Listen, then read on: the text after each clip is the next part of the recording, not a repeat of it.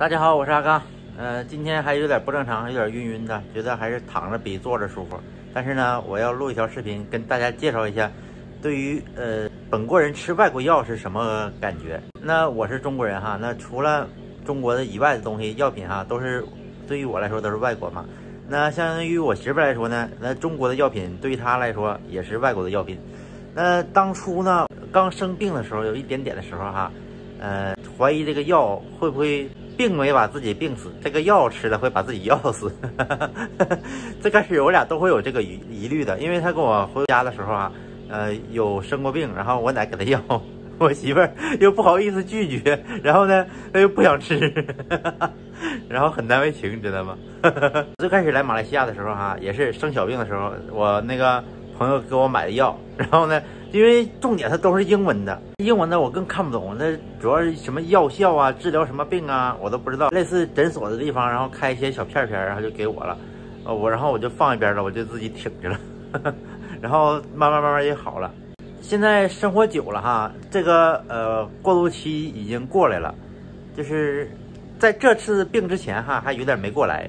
这次病之后哈，就完全过来了。你病的严重的时候哈，给你个药，你就不会考虑它是中国的还是外国的，能不能吃死了？那你就是想着，哎呀，死马当活马医吧，先吃了再说。那时候，呃，就是已经把生死置之度外了，因为特别难受，已经不考虑这个死活了。这两天吃这个药叫潘德道，然后是退烧，然后治头痛的，应该是。呃，吃着也不错，然后还给我弄了一些其他的小片片，然后我就要问这些，呃，它有什么功能啊？治疗什么病的？然后有一个治疗咳嗽的，我就没有吃，因为我没有咳嗽嘛。其他的我都吃了。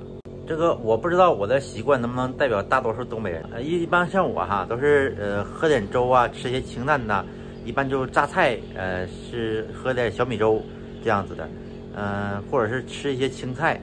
这个是萝卜的，然后榨菜的让我吃了了，乌江我们那边的特色。那还有这个，这个是马来西亚这面的咸菜，我媳妇儿特意给我买的，因为她知道我要喝粥吃咸菜。但是哈，她早上去买那种呃中国超市的榨菜哈都没有开门，她买了马来西亚本地的咸菜。我看这个顶上是 Made in 台湾，然后这是台湾的特色小吃嘛。但是我不太爱吃这些东西，我觉得。这个味道，呃，酸酸的那么感觉，吃完更难受，所以说我就拒绝了。这一瓶十二块钱呢，两瓶二十四呢，估计要送我丈母娘了。不知道我们那边的南方人哈都吃什么，反正我们北方人吃吃咸菜。生病了嘛，吃不了这些油腻的东西啊，然后或者是煲一些青菜粥啊这样子的。这两天就是咸菜粥。我感觉都没有什么营养了，也不知道是饿的没劲儿还是病的没劲儿。不过现在呃说话都正常了，舌头比较利索。昨天感觉舌头有点大似的。